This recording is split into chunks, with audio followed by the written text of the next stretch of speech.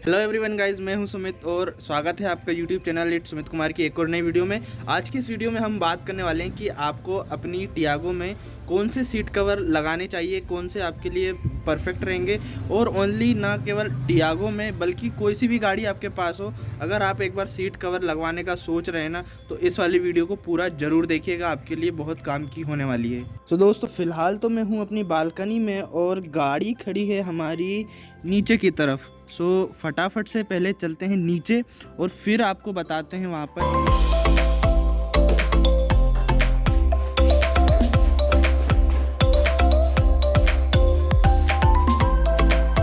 ये खड़ी हमारी बाइक। और ये खड़ी हमारी कार। इसे करते हैं अनलॉक। भाई, गाड़ी हो रही है कसूती गरम। थोड़ा इसे चालू कर लेते हैं। इसका कोल्ड स्टार्ट का कोटा भी पूरा हो जाएगा। और एसी चालू हो जाएगी। तो थोड़ा सा ठंडा भी हो जाएगा।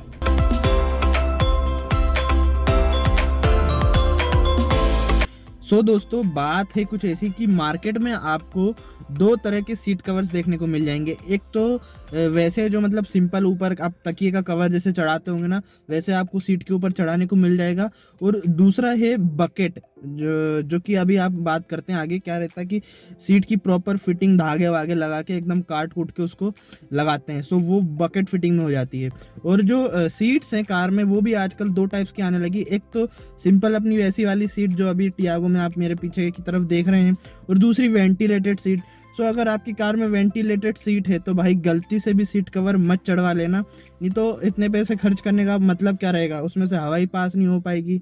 और अगर एसी वाली सीट है तो आपको क्या करना है? उसकी बात हम अभी करते हैं। तो होता यह है कि इस वाली सीट के नीचे जो आप अभी पीछे की तरफ़ देख रहे हैं, इसके नीचे होता क्या है कि ये जो कपड़ा है, ये कपड़ा है नॉर्मल और इसके नीचे डायरेक्ट आपको जो फोम है, वो भरा हुआ दिख जाएगा। तो नॉर्मल वाले सीट कवर और बकेट फिटिंग वाले सीट कवर के अपने अपने फ़ायदे और अपने अपने नुकसान हैं। तो सबसे पहले हम बात कर लेते हैं कि जब आप नॉर्मल तकिए जैसे, तकिए के कवर जैसा, वो मुझे उसका एक्चुअली नाम पूरा याद नहीं है, इसलिए मैं उसको तकिए के कवर जैसे वाला सीट कवर बोल रहा हूँ, लेकिन आप समझ रहे होंगे कि क्या बोलना चाह रहा हूँ मतलब भावनाओं को समझ जाइए।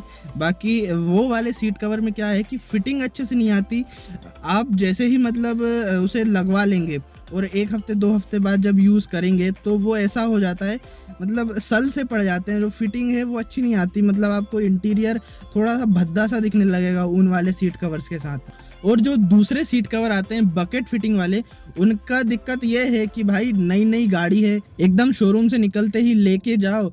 और सीट कवर वाले के पास लेके जाओ, वो सीट खोल देगा पूरी एकदम कटाई सटाई कर देगा। तो भाई, ऐसा नहीं है कि मतलब मैंने सीट कवर लगवाने की कोशिश नहीं की, मैं भी गया था। लेकिन वो जब देखा मैंने कि भाई, ये काट कूट के धागा उगा लगाते हैं तो मुझसे देखा गया नहीं।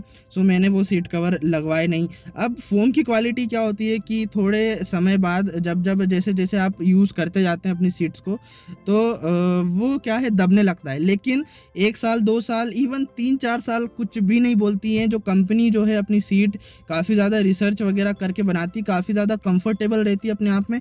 और ये जो कपड़े वाली सीट्स आती है ना, एक चीज़ मैंने पर्सनली इसका बेनिफिट नोटिस किया है कि जब आप लॉन्ग ड्राइव पे जाते हैं ना तो आपकी पीठ वगैरह से जो पसीना वगैरह निकलता है ना तो वो इसे थोड़ा एब्जॉर्ब कर लेता है। इस वाली सीट में मतलब थोड़ा कम आपको वो चीज़ फील होगी, लेकिन लेदर वाली जो आप सीट कवर ऊपर से चढ़वाते हैं ना, उसमें वो कंफर्ट नहीं आ पाता जो आपको ओरिजिनल सीट्स में आता है। तो अभी आप देख सकते हैं, मैंने अपनी टियागो में जो कंपनी से जो सीट्स आई थी एज इट इज़ वैसी ही रखी हुई है। और ये मतलब ज़्यादा गंदी भी नहीं हुई है। मेरी गाड़ी मतलब एक साल पुरानी, एक से डेढ़ साल होने वाला है इसे। और अभी तक जो ओडोमीटर की रीडिंग है, वो मैं आपको दिखाऊँ, दस हज़ार तीन सौ तिरानवे हो रही है। मतलब लगभग दस, साढ़े दस हज़ार के आसपास ये गाड़ी चल चुकी है। सो इतने में भी मतलब सीट आप देख सकते हैं एज इट इज़ रखी हुई है। सो पर्सनली मेरा सजेशन क्या है, आपको करना क्या है, ये मैं आपको बता दूँ कि जब आप गाड़ी नई नई लेने जाएँ तो अगर आपको डर ये है सबसे पहले कि आपका जो ये सीट्स हैं, ये गंदी हो जाएँगी तो इस डर को मन से निकाल दें। क्योंकि भाई जो आप सीट कवर लगवाएँगे, वो भी तो गंदा हो गई। सो आप वो वाला सीट कवर ना लगवाएँ। मेरे हिसाब से आप इन्हें ही नॉर्मल यूज़ करें एज इट इज़ कोई दिक्कत नहीं आएगी। और फिर जैसे आपका जो सीट है थोड़ा, दो तीन, चार साल बाद, अगर क्वालिटी उसकी डाउन हो जाती है, उसका जो फोम है, वो दब जाता है तब आप इसमें बकेट फिटिंग वाली जो सीट्स कवर आते हैं वो चढ़वा लें। और उनका क्या है थोड़ा सा फोम वगैरह उनके अंदर अच्छा मोटर रहता है उनकी जो फिटिंग है वो काफ़ी अच्छी। तो आपकी जो सीट्स हैं वो वापस से रिटेन हो जाएगी वैसी की वैसी हो जाएगी जैसी नहीं थी उनकी जो मोटाई वगैरह कम हुई थी वो एज इट इज़ पहले जैसी हो जाएगी। और उस समय वो आपको बेनिफिशियल रहेंगे। सो so, इनिशियली आपको गाड़ी शोरूम से निकलते ही कोई सीट कवर वगैरह डलवाने की ज़रूरत नहीं है। मैंने भी नहीं डलवाए हैं, बाकी आपकी मर्ज़ी है। सो so भाई, ये था ओवरऑल ओपिनियन सीट कवर के बारे में मेरा। कमेंट में आप बताइएगा, आपका क्या विचार है इस बारे में। बाकी लाइक करिएगा, अगर वीडियो यूज़फुल आपको लगी हो और सब्सक्राइब करिएगा इस वाले चैनल को ऐसे ही अच्छे अच्छे वीडियोज़ के लिए।